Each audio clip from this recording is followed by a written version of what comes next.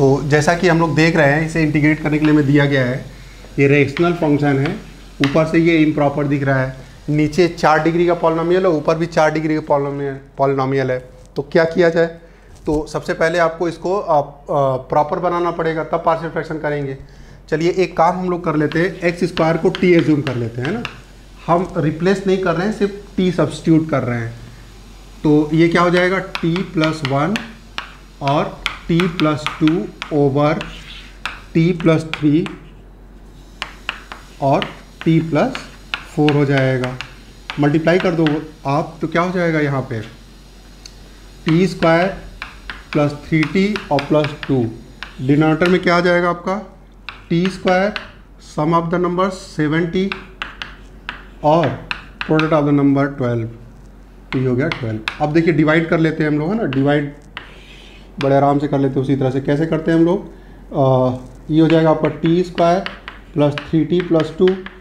Numerator हो गया, denominator से डिवाइड करना है, T square plus seven T और प्लस आपका हो गया ट्वेल्व। एक बार जा रहा है ना, T square upon T square one तो हो जाएगा T square plus seven T और plus twelve.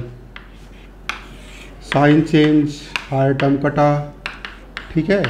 क्या बचा आपका? माइनस का फोर्टी और माइनस का यहाँ पे टेन आ गया। अब पॉलिनोमियल की डिग्री कम हो चुकी है तो क्या लिख लें हम लोग? इस एक्सप्रेशन को लिख सकते हैं that could be written as A one plus ठीक है? माइनस फोर्टी माइनस टेन तो बल्कि माइनस ही लिख लिया जाए ना। फोर्टी प्लस टेन ओवर ये लीनियर फैक्टर के फॉर्म में लिखते हैं, है ना? टी प्लस थ्री और टी प्लस फोर तो टी प्लस थ्री अब ये प्रॉपर बन चुका है ना? इस चीज़ का पार्शियल फ्रैक्शन हम लोग कर लेते हैं। ठीक। तो ये हो जाएगा आपका forty plus ten over T plus three times T plus four that is A upon the linear factor T plus three और plus B upon linear factor T plus four हो गया। तो ए की वैल्यू निकालने के लिए हम लोग क्या करते थे?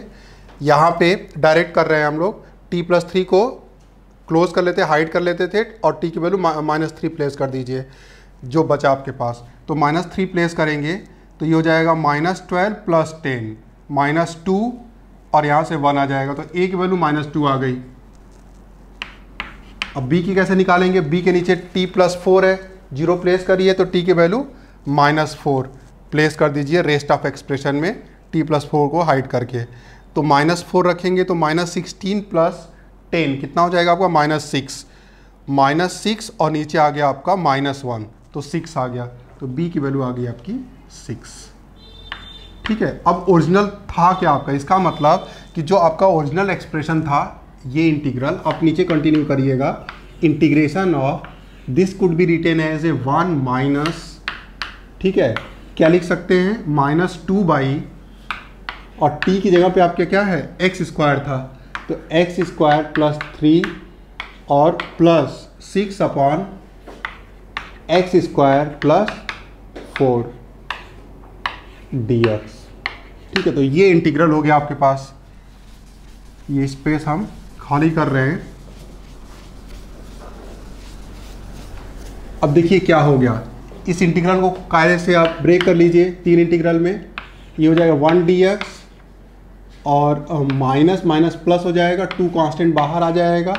क्या हो जाएगा one upon x square plus three D x और सिक्स बाहर आ जाएगा, माइनस हो जाएगा। Minus six, one upon x square plus four D x अब देखिए सब इसका एक्स हो गया प्लस टू। इसका क्या हो गया? Tan inverse. तो ये रूट थ्री का स्क्वायर लिख लीजिए। क्या हो जाएगा? Tan inverse x by a, one by a मतलब रूट थ्री और tan inverse x by a x by a मतलब रूट थ्री है ना? उसके बाद माइनस सिक्स ये फोर कॉम टू का स्क्वायर लिख लेंगे। क्या हो जाएगा?